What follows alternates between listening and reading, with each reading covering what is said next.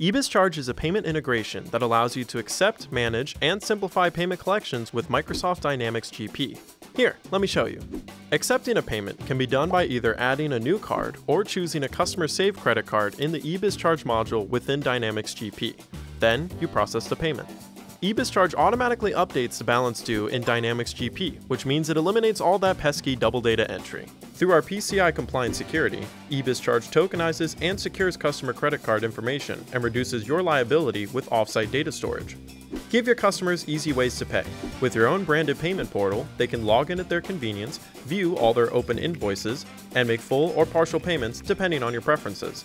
For one time payments, email customers secure payment links that they can pay off within seconds. So no matter how the customers make a payment, it always applies back in Dynamics GP for you. Easy. As a manager, have access to advanced reporting tools, easily build customizable reports to gain insight into the metrics you care about most. And finally, save time by having batch reports auto-delivered to your email inbox every day.